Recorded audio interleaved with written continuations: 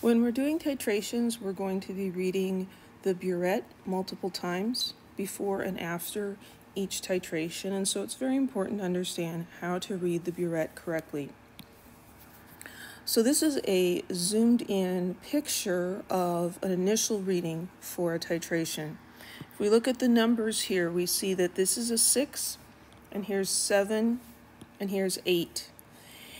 And so it's very important to understand that this 6 does not mean that the burette has 6 milliliters in it. The 8 does not mean that it has 8 milliliters if the volume, if the level is down there. Think of this as a ruler. So it's just kind of a ruler that we're using to measure. So 0, 1, 2, 3, etc. We are not measuring, can't think, we're not measuring the volume in the burette. That's not possible and it's not meaningful. We are going to measure how much sodium hydroxide was released from the burette. And we'll do that by recording a starting place. Say we started here and we ended up here. The difference is the volume that was added. So when we read a burette, we just use the numbers as if they were a ruler. So we're looking at the bottom of the meniscus, the curved part here. And um, because of the colors behind it, we can see there's um, it's it's dark because it's reflecting some things around it, so that's convenient.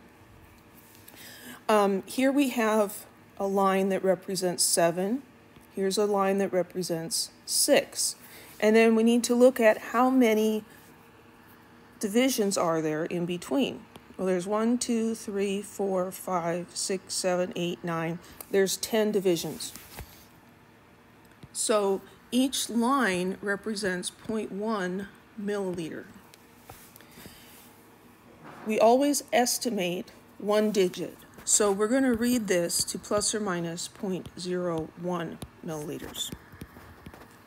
Because where the lines are, there's no uncertainty. And we're going to read between the lines to get an estimate.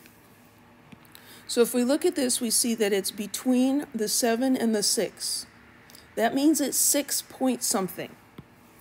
So 6 point, and um, the pointer's not very small here.